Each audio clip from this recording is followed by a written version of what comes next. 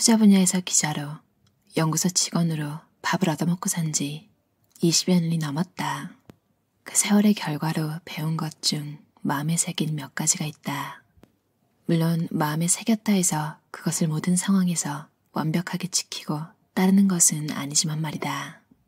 당신이 생각하는 것보다 운의 힘은 더 강력하다. 아니, 때론 실력보다 더 중요하다. 위대한 예측가보다는 꼼꼼한 분석가가 돈을 잘 벌 가능성이 높다. 남들보다 멀리 내다보려면 앞선 거인들의 어깨 위에 올라서야 한다.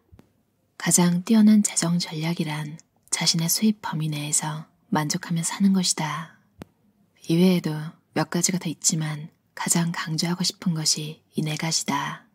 이 네 가지를 각각 한 단어로 표현하면 운, 예측, 학습 전략, 재무 전략이라고 할 수 있다. 먼저 재무 전략에 대한 얘기부터 거꾸로 시작해보자. 돈 버는 방법의 기초는 늘 번 것보다 덜 쓰는 데 있다. 번 것보다 덜 써서 남은 것이 자본이다. 이를 종잣돈이라고 말할 수도 미천이라고 표현할 수도 있다. 투자는 이 자본에서 시작된다. 자본 축적이 없으면 투자로 나아갈 수 없고 당연히 이 자본의 크기가 커질수록 부자에 다가가게 된다. 그러나 덜 써서 모으는 과정을 좋아하는 사람은 별로 없다. 상당한 인내심을 요구하는 탓이다. 대다수의 사람들은 빨리 돈을 벌어 부자가 되고 싶어 한다. 인간은 비교하는 동물이고 시기하는 동물이고 부러워하는 동물이기 때문이다. 작은 원시 공동체에서 발전해온 인류는 끊임없이 옆 사람과 옆집과 옆 동료와 나를 비교한다. 그래서 돈의 절대적 크기보다는 상대적 크기가 중요하다. 내가 100억 원이 있더라도 주위에 150억 원 이상인 사람들로 가득하면 빈곤감을 느끼게 된다. 어쩌면 상대적 박탈감은 인간 본연의 감정일지도 모른다.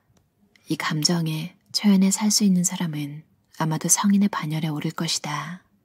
이렇듯 그도의 길에 오른 사람이 아니라면 이 감정의 실체를 인정하고 사는 것이 낫다고 생각한다. 단 비교의식 혹은 부러움의 양면성을 제대로 이해할 필요는 있다. 비교의식 또는 부러움은 투자나 소비의 영역에서는 순기능보다 역기능이 많다. 무리한 투자나 과소비로 연결되기 십상이다. 그러나 비즈니스를 하거나 의지를 다질 때는 순기능이 존재한다. 성공에 대한 강력한 내적 동기와 도전의식을 불어넣어준다. 남들에게 지지 않겠다는 의지와 분노는 삶에 상당한 에너지를 제공한다. 반면 재무 전략에 있어서는 부러움과 비교의식은 도구로 작용할 때가 많다. 가급적 남과 비교를 적게 하고 덜 부러워하고 덜 시기하면 인생도 덜 불행해진다. 경제적으로는 저축액과 투자액이 늘어난다. 여기서 알아야 할 것 한 가지.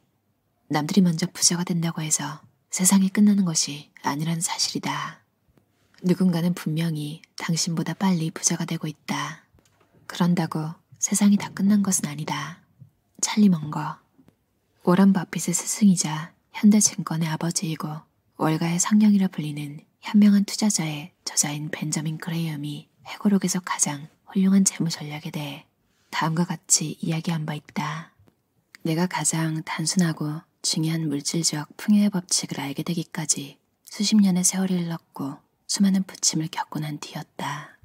가장 뛰어난 재정 전략이란 그 사람의 수입 범위 내에서 만족하며 사는 것이다. 이번에는 학습 전략이다. 거창하게 표현하면 태양 아래 새로운 것은 없다.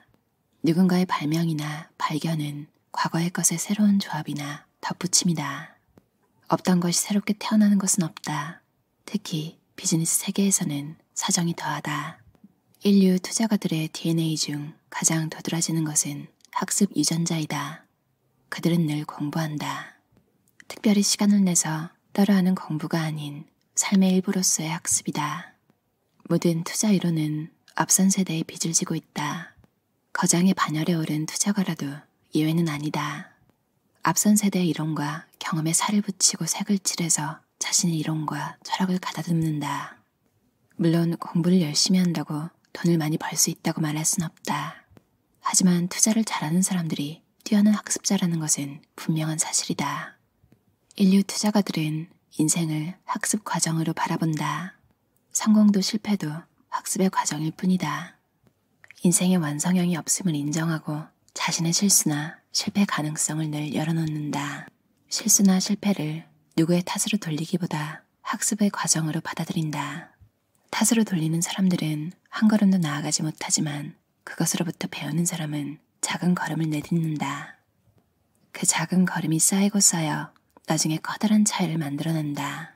학습에도 복리 효과가 있는 것이다. 학습의 시작은 나보다 나은 사람을 흉내내면서 시작된다. 모방하면서 점차 자신의 입김과 피를 불어넣어 자신만의 철학 혹은 방법론을 만들어간다. 물론 그 철학 또는 방법론은 폐쇄형이 아닌 개방형이다. 다시 말해 자신의 오류 가능성, 실수 가능성이 담보되어 있다. 벤자민 그레이엄과 워런 버핏은 이를 안전마진이라는 개념으로 장식화했다.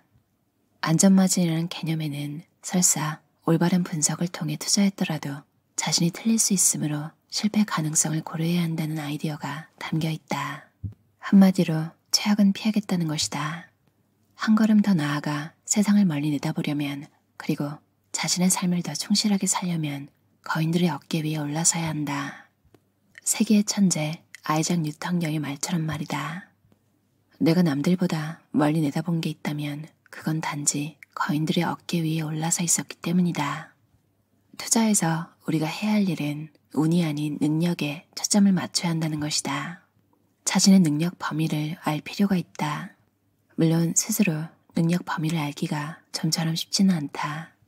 찰리 먼거는 월스트리트 저널과의 인터뷰에서 이렇게 말했다. 자신이 지닌 능력의 한계를 아는 것이 인간에게 있어 가장 어려운 일 중 하나다. 인생 그리고 사업에서 자신이 무엇을 모르는지를 인식하는 것이 똑똑한 것보다 훨씬 더 유익하다. 큰 돈은 운이 따라야 한다. 그런데 그게 언제일지 알수 없다. 운을 내 편으로 만들기 위해서는 재무 전략, 학습 전략, 분석 능력이 잘 결합되어 있어야 한다.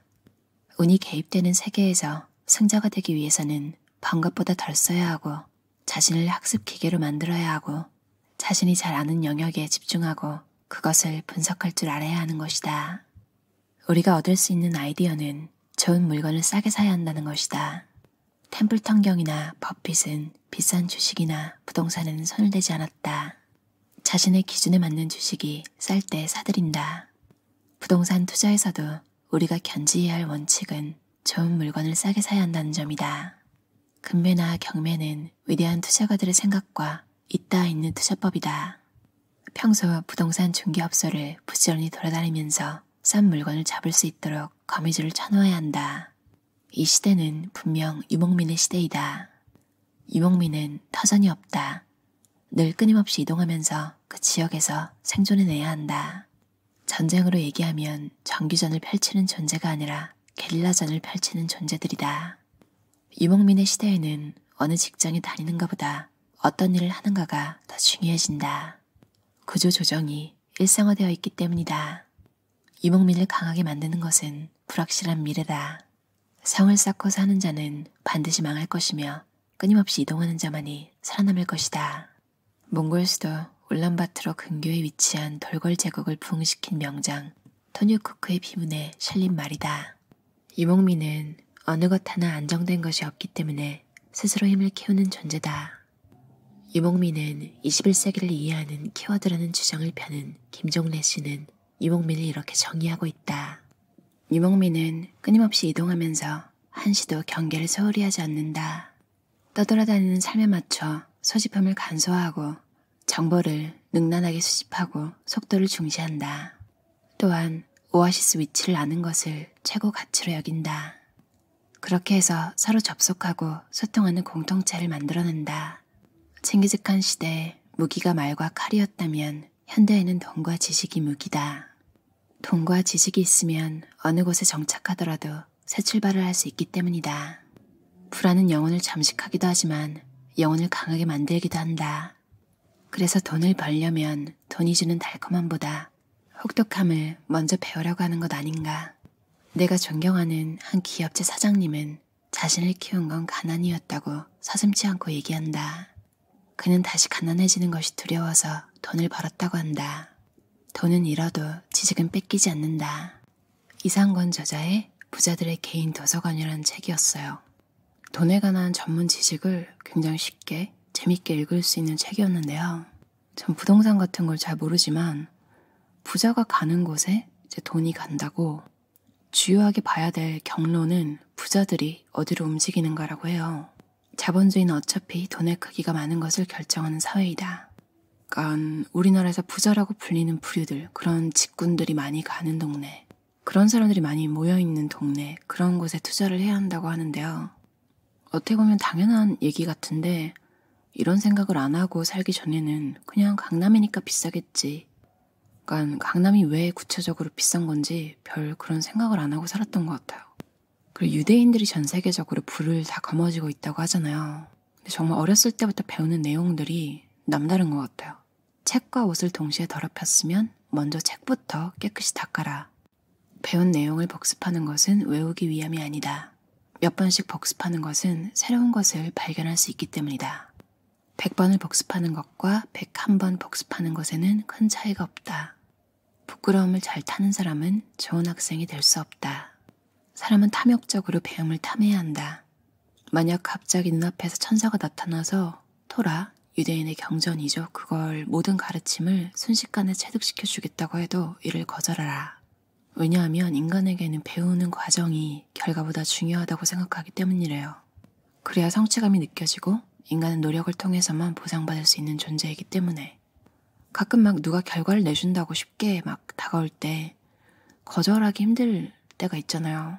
근데 그런 걸 딱 뿌리치고 스스로 하는 걸 좋아하는 사람, 그 과정까지 즐기는 사람, 뭔가를 배우는 그 과정을 중요시해서 내가 끝까지 해내고 배우는 성취감을 끝까지 느끼는 사람. 굉장히 소신 있어 보이고 믿음도 가고 멋있잖아요. 그리고 탈무드에 이런 내용이 있다고 해요. 월급이 적을 때는 저축하는 습관을 길러라. 왜냐면 그렇지 않으면 수입이 늘어도 저축을 할 수 없다고 해요. 습관이 안 됐으니까 그러겠죠. 버는 자보다 모으는 자가 이긴다. 넷플릭스의 연애대전이라는 걸 봤는데 거기 이제 주인공 서브 여주 친구로 나오는 분이 있는데 그분이 열받을 때마다 이제 1818 뭐 이렇게 해가지고 저축을 하더라고요. 금액을 그렇게 설정해서. 웃기는 컨셉이긴 한데 와 그거 되게 똑똑한 방법인 것 같았어요. 그 열받으면 사실 아 나 기분 지금 안 좋으니까 나를 위해서 뭐 음료수라도 한 잔 사 마셔야 돼. 버블티 이 정도는 괜찮지. 한 7, 8천 원? 내 기분이 지금 안 좋은데 이 정도는 써야지. 아, 문제는 그런 게 또 짜잘짜잘 여러 개로 늘어나잖아요. 근데 그럴 바에 그 주인공 친구처럼 막 욕이라도 써가지고 이제 저금을 하면 어, 내 분노가 돈이 되었네? 저축이 되고 있네? 이렇게 생각할 수 있을 것 같아요. 와, 우리나라에도 곳간에서 인심난다는 말이 있잖아요. 탈무드에도 사람은 빵을 담는 바구니가 비게 되면 화를 내기 쉽다.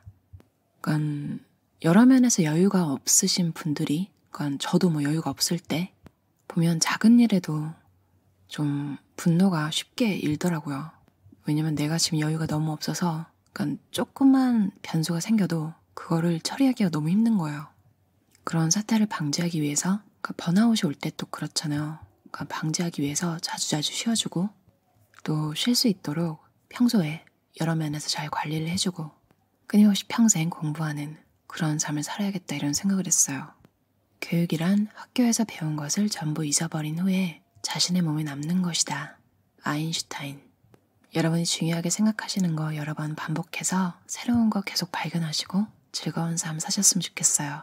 들어주셔서 감사합니다.